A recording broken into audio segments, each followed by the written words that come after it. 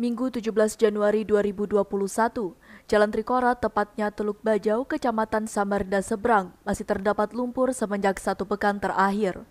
Hal ini membuat warga sekitar mengalami kesulitan dalam mengakses jalan.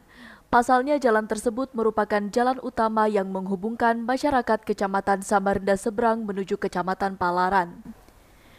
Beberapa warga inisiatif membersihkan tanah akibat longsor. Mereka beranggapan apabila tidak segera dilakukan pembersihan akan menghambat masyarakat yang melintas. Akibat dari longsor tersebut terdapat satu bangunan dari salah satu warga yang rusak. Masyarakat menilai belum ada penanganan yang serius dari dinas terkait.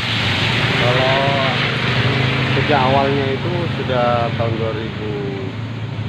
2020 ya, itu sekitar bulan Juni tapi dikerjakan dengan PU sudah ada dua bulanan. Tapi setelah di uh, hujan lagi ini turun lagi. Karena di bawahnya itu memang tidak ada parit sih yang itu jadi kendala.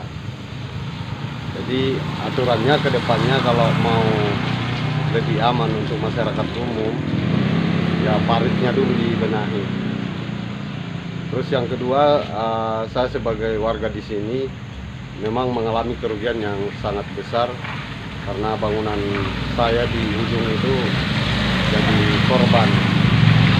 Karena pemerintah tidak cepat menanggapi longsor ini. Aturannya kemarin kan waktu musim kemarau itu yang tanah turun itu aturannya cepat dikerjain jadi tidak menjadi polemik di masyarakat. Terus yang ketiga, ini kan jalur jalur poros ya. Jadi memang masyarakat umum itu sangat terganggu khususnya karyawan yang betul-betul uh, berangkat harus tepat waktu sampai di kantor tepat tepat waktu. Nah itu yang saya lihat selama ini. Jadi kasihan yang warga kita yang lalu lalang itu mencari nafkah. Dari bulan Juni kita sudah standby di sini karena memang banyak teman-teman yang sering terjebak khususnya yang uh, orang tua atau uh, perempuan itu jadi banyak kendala sih.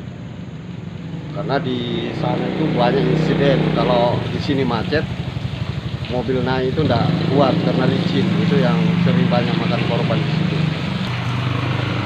Muhammad Rafiq melaporkan